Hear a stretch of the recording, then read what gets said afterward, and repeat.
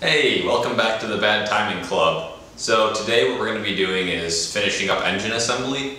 So we've got to rebuild the heads and then we are going to get those installed. So the first thing we're going to go do is pressure wash them because they're just covered in grease from sitting for 25 years. So let's go.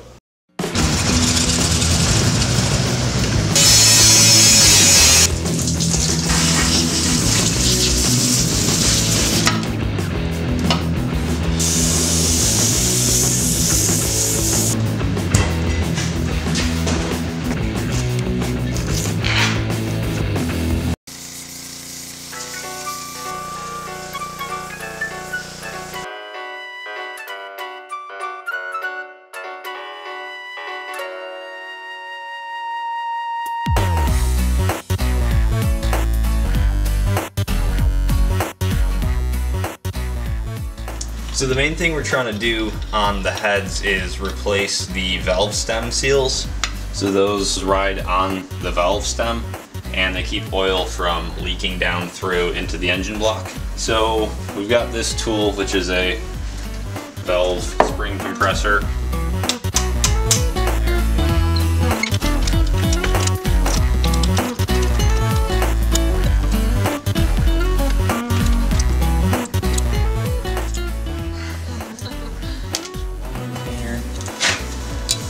The other.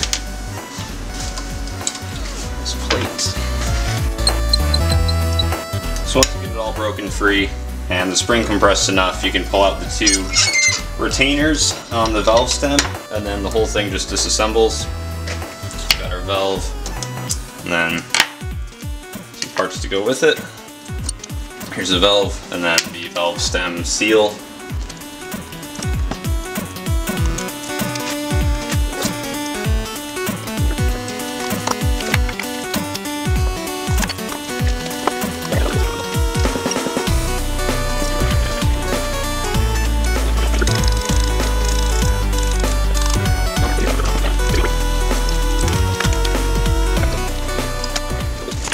This cylinder head is all broken down now. Um, it's actually pretty clean. There's still a few spots that have some kind of caked on grease they'll have to scrape out. But for the most part, it's pretty good. So going out in the 40 degree snow to pressure wash was probably worth it. Um, yeah, overall it's pretty decent. So we'll get it cleaned up and then all the valve parts that we took out cleaned out and then we can put it back together. Accidentally turns into one of those most satisfying channels. Our whole project is most satisfying. So we got the head all cleaned up now, and it's time to put it all back together. Got the first valve um, just pushed through, so we dip the valve stem in oil, uh, also put some into the, the hole, and then push the valve through. And then next up we just take the spring, the hat, and the retainer clips, and kind of reverse of disassembly. So we'll just let Faith loose on that. Go kick back and drink a couple cold ones, come back in five minutes, they'll probably be done.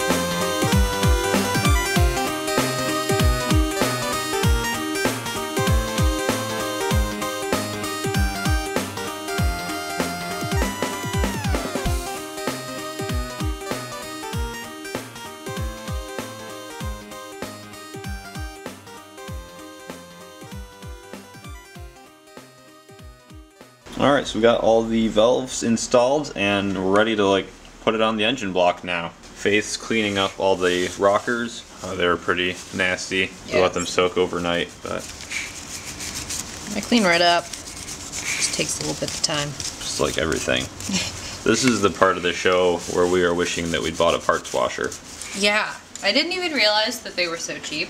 If I had realized, I would have bought one months ago. It's one of my big regrets of this whole build. Because I've spent a lot of time scrubbing stuff. So Faith got the second cylinder head all cleaned up and prepped for us. Now we're gonna install it and we're most of the way to having the block done. Just wiping down the sealing surface. So this is as clean as possible. And then we'll put the head gasket on and then lower on the head and then we're mostly done. So the two dowel studs go into the engine block. These help align the gasket and the cylinder head. And then the gasket, just like the other side, says front. And it's on. That's all there is to it. Ready to start making 500 horsepower.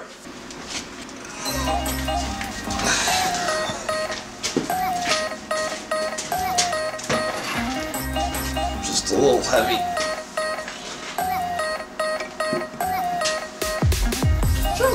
Just a little bit. So we're using all ARP hardware here to handle the power numbers that we're going to be making. I think this engine, if all goes according to plan, is going to see somewhere around 200 horsepower. If we're lucky.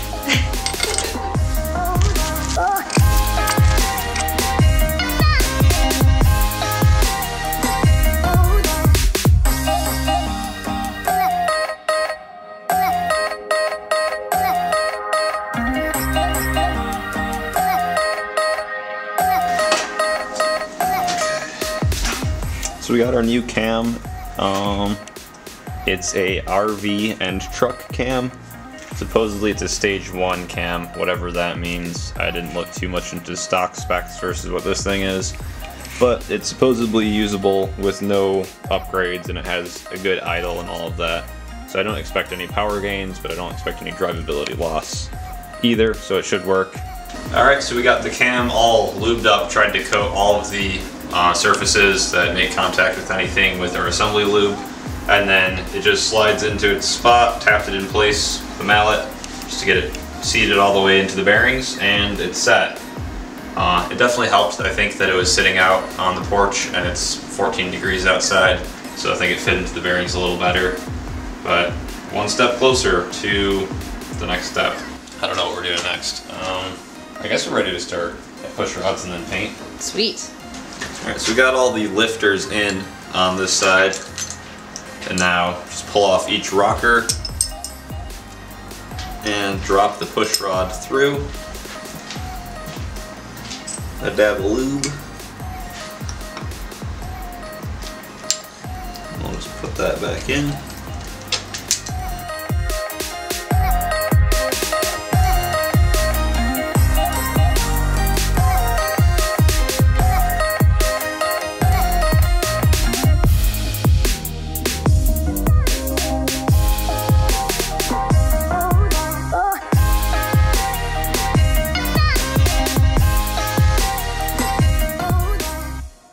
So, um, to set the valve lash on these, they have hydraulic lifters, so we essentially just need to compress the lifter. So according to the manual, um, we put it at TDC, we'll start at cylinder 1, so intake and exhaust valve are um, closed right now, so the lifter is all the way retracted, and then we've got all this slop. So we just tighten the nut down with the wrench that I misplaced again. So we just go until the slop is removed. And then we do three quarter turns from there. So that's a half, three quarter. The same on this side. So that now compresses the hydraulic lifter. And now the valve lash is essentially set. So you just gotta go and there's a specific pattern of what valves you do at what setting, essentially whatever is got a closed valve. So we'll just go through and do that.